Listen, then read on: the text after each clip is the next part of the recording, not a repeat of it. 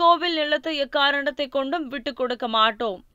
கோவில் நிலம் கோவிலுக்கே சொந்தம் என கூறி ஐந்து கிராமங்களை சேர்ந்த எழுநூறுக்கும் மேற்பட்ட பொதுமக்கள் கவன ஈர்ப்பு போராட்டம். திருப்பூர் மாநகராட்சிக்குட்பட்ட ஆண்டிப்பாளையம் பகுதியில் இருநூறு ஆண்டு காலம் பழமை வாய்ந்த மாரியம்மன் கோவில் உள்ளது. பழமையான இந்த கோவிலுக்கு சொந்தமாக பதினோரு புள்ளி பதினாறு ஏக்கர் நிலம் உள்ளது. வருடந்தோறும் இந்த கோவிலில் சித்திரை மாத திருவிழா இரண்டு வாரம் நடைபெறும் பிரம்மாண்ட திருவிழாவில் ஆண்டிப்பாளையம் சின்னண்டிப்பாளையம் சின்ன கவுண்டன்புதூர் குள்ளே கவுண்டன்புதூர் குளத்தூர் புதூர் ஆகிய ஐந்து கிராம மக்கள் ஒன்று சேர்ந்து பத்தாயிரத்துக்கும் மேற்பட்ட மக்கள் கொண்டாடும் விழா பெரும் விழாவாக நடைபெற்று வருகிறது. மாரியம்மன் கோவிலுக்கு சொந்தமான நிலம் பதினோரு புள்ளி அறுபது ஏக்கரில் ஒன்பது ஏக்கர் நிலத்தை போலீஸ் துறைக்கு வழங்கப்பட்டுள்ளது.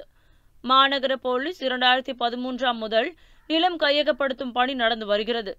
இந்நிலையில் கோவில் பயன்பாட்டிற்கு நிலம் வேண்டும் கோவில் நிலத்தை போலீசாருக்கு வழங்கக்கூடாது என ஐந்து ஊர் பொதுமக்கள் இரண்டாயிரத்து ஐநூறுக்கும் மேற்பட்ட பொதுமக்கள் மங்களம் சாலை ஆண்டிப்பாளையம் பிரிவில் கவன ஈர்ப்பு போராட்டத்தில் ஈடுபட்டனர்.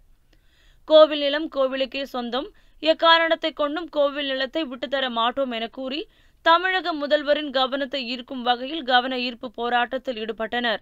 இது போன்று உங்களை சுற்றி நடக்கும் செய்திகளை நீங்கள் தெரிந்து கொள்ள சப்ஸ்கிரைப் செய்து பெல் ஐகானை கிளிக் செய்து எங்களோடு பயணியுங்கள். மறக்காமல் லைக் ஷேர் கமெண்ட் செய்யுங்கள்.